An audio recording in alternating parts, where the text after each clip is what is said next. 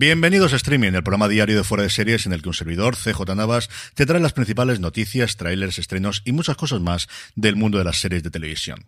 Edición del miércoles 7 de septiembre, vamos allá con todo el contenido y empezamos con un poquito de salseo, y no, no me refiero a la película de Olivia Wilde, que ya os habréis cansado de leer sobre ella. Citadel, Ciudadela, que no sé si recordaréis, pero fue presentada como la gran superproducción después del Señor de los Anillos, Los Anillos de Poder por parte de Amazon Prime Video, un proyecto tremendamente ambicioso de una serie de espías que a su vez iba a tener varios spin-off rodados en distintas partes del mundo, porque la idea fundamental era que había todo un conjunto de espías que se unirían al final muy en plan venga porque de hecho tenía a los hermanos Russo por un lado como creadores, y luego encargándose de los guiones y también como showrunners a Josh Applebaum y André Nemec, que fueron los responsables de la última película de las Tortugas Ninja y también de Misión Imposible Protocolo Fantasma. Pues bien, la serie que tenía un presupuesto de 160 millones de dólares, ni más ni menos, que tiene como protagonistas iniciales a Richard Madden, en lo primero grande que haría después de Juego de Tronos, y a Priyanka Chopra, se rodó el año pasado, terminó su rodaje de hecho en diciembre, y a partir de ahí empezaron los problemas. Y es que al parecer cuando en Amazon vieron las imágenes no estaban del todo contentos y la forma de solucionarlo era totalmente distinta a la que opinaban los hermanos rusos de la que opinaban Applebaum y Nemec. El enfrentamiento fue escalando y finalmente Amazon se quedó por parte de los rusos y eso hizo que Applebaum saliese de la serie, que Brian Kirk, un veterano de Juego de Tronos y Penny Dreadful que había dirigido cinco de los siete episodios de la serie y Sarah Browson, una de las productoras, se marchasen también de la serie. Y como colofón de todo esto, para poder hacer la serie que finalmente quieren los rusos, se va a incrementar el presupuesto en 75 millones de dólares. Ay, señor, no hay como tener dinero para solucionar los problemas, desde luego. De Estados Unidos, que vuelven poco a poco a la normalidad después del largo fin de semana, nos llegan dos noticias de nuevos proyectos. El primero, que me atrae muchísimo, Sassy Betts va a protagonizar la nueva serie limitada para HBO Max de Steven Soderbergh. Bueno, limitada inicialmente, aunque normalmente Soderbergh cuando dice que es limitada, entiendo que sí que será. Se va a llamar Full Cycle, Círculo Completo, y Soderbergh dirigiría los seis episodios de los que constaría la serie, que giraría alrededor de una investigación sobre un secuestro fallido que descubre secretos guardados desde hace mucho tiempo que conectan a múltiples personajes y culturas en la Nueva York actual. No ha trascendido prácticamente nada más sobre la serie, sí se rumorea, y así lo dice Deadline, que Betts, a la que hemos visto recientemente en Bullet Train junto con Brad Pitt, y a la que podemos ver evidentemente en Atlanta, qué maravilloso último episodio se marcó en esta pasada temporada, pues como os digo, Betts interpretaría a un agente del Servicio de Inspección Postal de Estados Unidos. Y el segundo, en Amazon Freebie, ya sabéis lo que antiguamente era IMDBTV y que normalmente de forma internacional suele llegar a Amazon Prime Video, ha encargado una comedia llamada Clean Slate, algo así como Borrón y Cuenta Nueva, con Laverne Cox y George Wallace, que está producida por Norman Lear. Sí, sí, ese Norman Lear, el que cumplió 100 años el pasado 27 de julio y de hecho parece que ese mismo día es cuando se dio luz verde a la comedia. No me digáis que no es algo absolutamente maravilloso que este hombre con 100 años siga, pues, no en el día a día como estaba con las series anteriores, pero produciendo todavía series a estas alturas del partido. Pasando a España, A3 Media ha anunciado su nueva producción llamada Entre Tierras, que se estrenará como es habitual en A3 Player Premium, pero que irá al primetime de Antena 3. Una serie de 10 capítulos, 50 minutos de duración, protagonizada por Megan Montaner, una mujer andaluza dedicada a cuidar de su familia desde que muere su padre y que decide sacrificarse por los suyos aceptando casarse con un terrateniente manchego que viene a su pueblo buscando esposa. Ahora, aquí viene el plot twist. Lo que María ignora es que la boda que se celebra entre ella y el maduro terrateniente es por poderes y con, quien verdad se está casando es con Manuel, el único sobrino de Ramón, que en ese momento desconoce la trampa que su tío le ha tendido. Y por si tenemos poco, antes de que lleguen a consumar el matrimonio, regresará a su vida José, un novio que emigró en su momento a Alemania que viene dispuesto a todo por recuperarla. La serie estará escrita por Susana López Rubio, Juan Beiro y Joaquín Santamaría. Junto a Megan Montaner estará Juanjo Puig Jorbé, Unax Ugalde y Carlos Serrano y ha empezado ya a rodarse en Castilla-La Mancha y en Almería.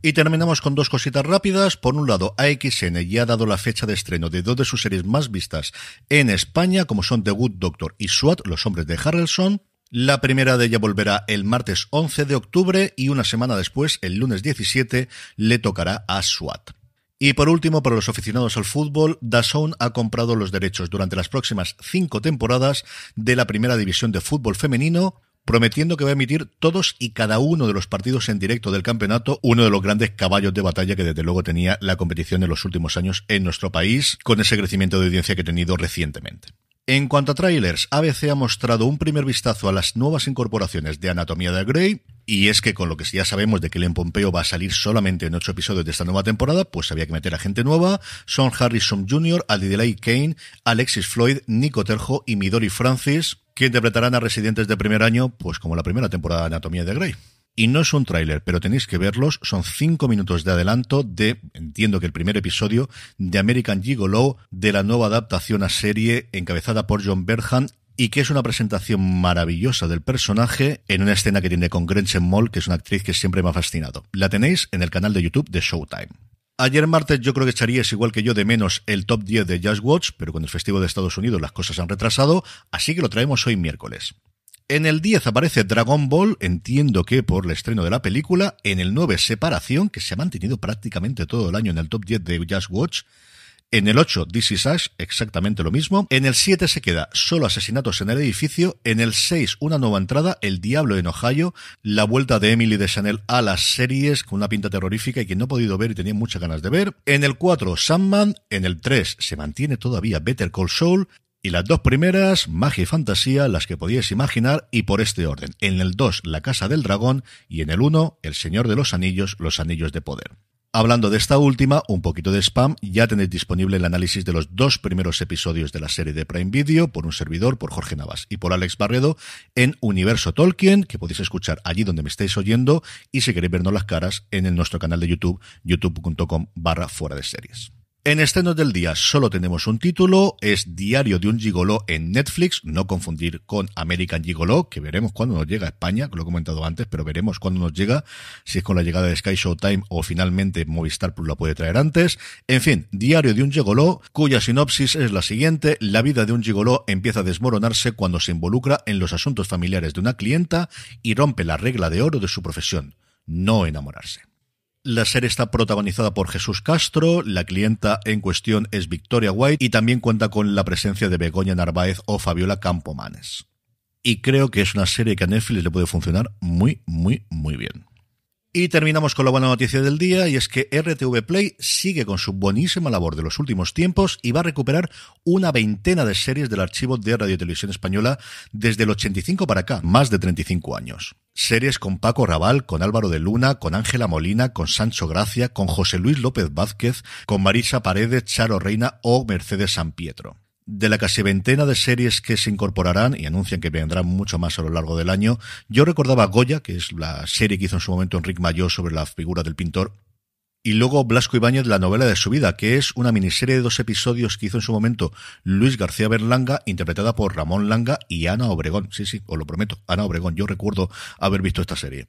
Pero la que más me apetece ver, y yo no recuerdo absolutamente nada de esta, tengo que preguntárselo a mi padre, es una serie policíaca del 98 llamada La virtud del asesino, que tiene a Nacho Duato, a Sancho Gracia, a Pachi Andión y a Elvira Mínguez, en el que Sancho Gracia hace un inspector de policía llamado Miguel Santalla, que emprende una investigación para descubrir al autor de una serie de crímenes de personajes de la esfera artística y social. Desde luego que es tremendamente loable lo que está haciendo RTV Play recuperando todas estas series míticas para que estén a disposición, que al final se puedan ver y que se puedan comentar y se puedan analizar y que estén accesibles, pues lo que es historia viva de, de nuestra televisión y de nosotros mismos.